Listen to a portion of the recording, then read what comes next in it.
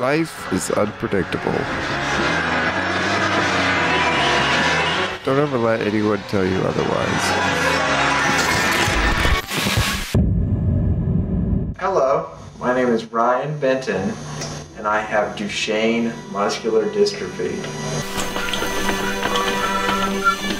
Unfortunately, there are currently no cures for this disease. For years, others, namely doctors, have trying to tell me how my life would turn out.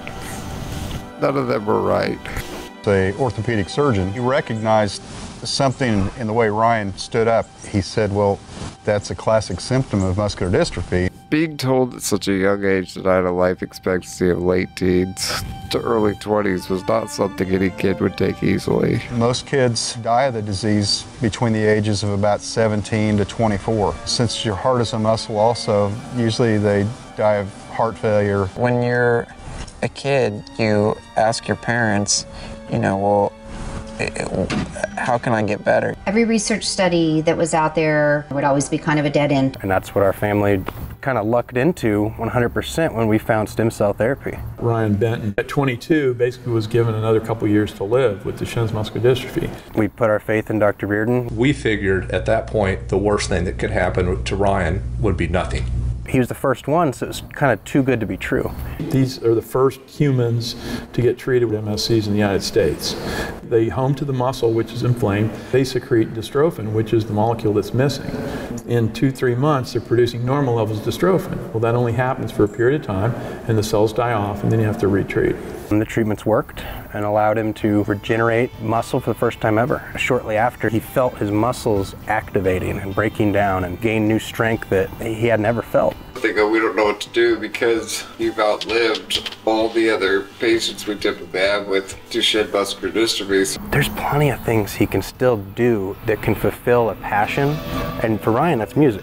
For Ryan and I, we got into actually writing and recording our own stuff. Rye's always come up with the impetus, the structure, and the idea. Do, do, do.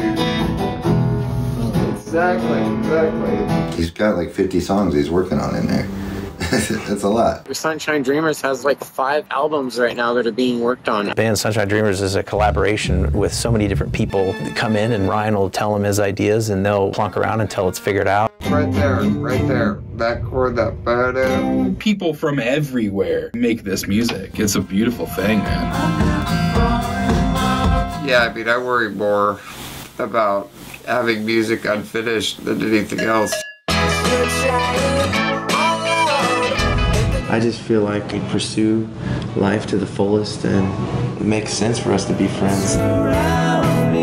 Right after Ryan's first treatment, when he realized that the therapy was working, he immediately had the idea to say, let's have a benefit concert. Why don't we do something to get back an event where we raise money? So we could allow more families like ours to access this treatment and raise awareness about this incredible new medical breakthrough. Oh. People started reaching out from all over the world. Ryan, you are you are our you hero. Are the light.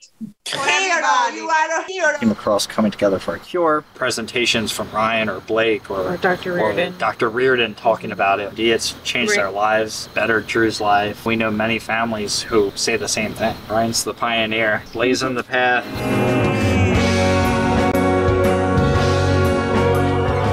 For whatever reason, 15 years ago, I was given a second chance to continue living. Ever since then, I made it my life's mission to fight to legalize stem cell therapy. That's what's confusing. If you've seen all these benefits, and I haven't heard anything about negative results.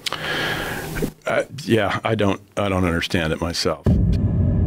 There's a lot of red tape. Waiting for the FDA to legalize stem cell therapy. Sometimes, no matter how well it's working, there's a number of factors that come into play that they don't want this therapy to come come to fruition. You had vaccines, you have antibiotics, and now you have MSCs. Global impact is going to be greater than those two combined. And we want to continue proving its effectiveness in treating this disease. In the tens of thousands of, of, of, administrations that we've given, there have been no serious adverse events. Um, none. And, and that, none.